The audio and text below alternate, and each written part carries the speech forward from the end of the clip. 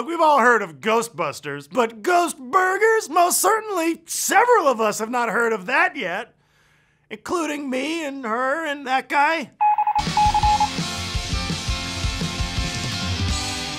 Hey guys, it's me, Noah Galuten. Now, uh, over in Japan, JS Burgers Cafe has come out with a few new menu items which are meant to tie into the new uh, Ghostbusters movie. Now, I'm guessing that these burgers are all haunted.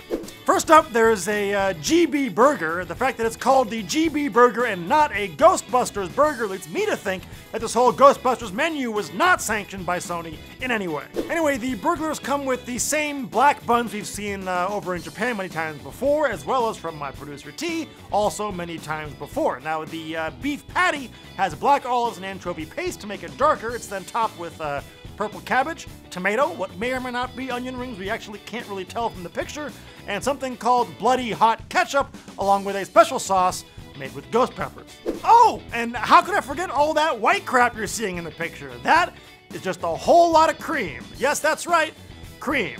There are also black chili chips, which are pretty much uh, nachos, but instead of the normal nacho accoutrements, it's got tomato puree, white cheddar sauce, and squid ink chili beans. You know, it's a typical uh, Michoacan style nacho.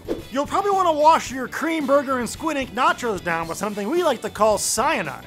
Actually, I'm told it's something called a green ghost shake.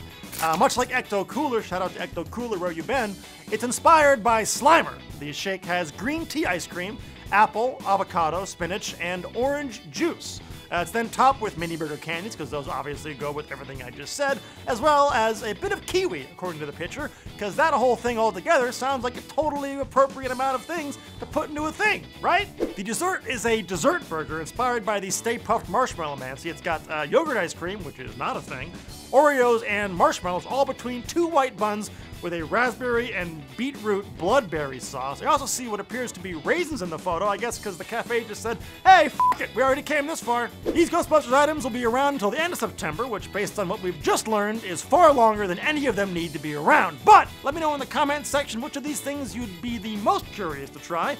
If your answer is none, then congratulations, you can still be my friend. It's not likely, but it's possible. That's it for us today. Thank you for watching and subscribe to Tasted for more episodes of The Food Feeder, the only place on YouTube that will tell you where to get a milkshake with mini burgers on it. I may as well tell you now, the answer is almost always Japan. Unless you go to that one weird alley uh, behind this one place, they give you other stuff too. It's, it's not great. It's not worth it.